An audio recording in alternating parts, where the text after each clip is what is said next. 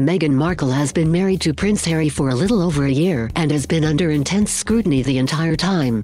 From her fashion choices to the events she chooses to attend, Markle has caused more than a few eyebrows to raise. Many fans question whether or not she is as much of a royal rule breaker as she is portrayed in the media. But one thing seems clear, Markle is living life on her terms. Recently, eagle-eyed members of the public spotted something that could cause Markle to receive even more negative press shortly. What's the story behind Meghan Markle's engagement ring? Markle and Prince Harry started dating in the summer of 2016 and had instant chemistry. Reportedly, they met through a mutual friend, and by the fall of that year, rumors first started to swirl that the red-headed royal was dating the Suits actress. Over the next few months, Markle and Prince Harry conducted their romance as under the radar as possible, as Markle met the royal family and flew all over the world with her new suitor. Engagement rumors were everywhere, and in November 2017, the two officially announced their engagement. It's part of the royal tradition for the newly engaged couple to step out in public and be photographed, in order to formally announce the joyous occasion. When Prince Harry and Markle emerged on that chilly November morning, all eyes were on the smiling couple and on Markle's stunning engagement ring.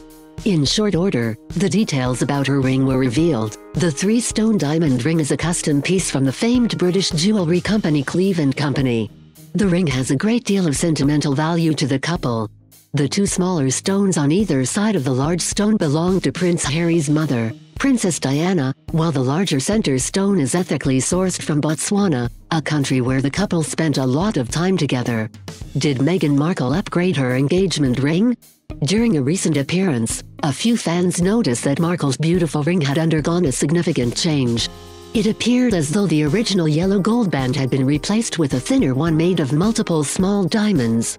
Needless to say, Markle herself hasn't commented on the change to her ring, but people have started to weigh in regarding the jewelry update.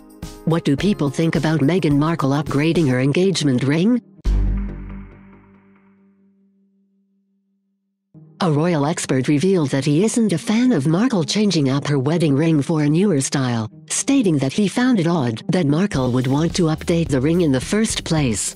He went on to say that royal jewelry is pieces of history, and shouldn't be changed even if they look old-fashioned.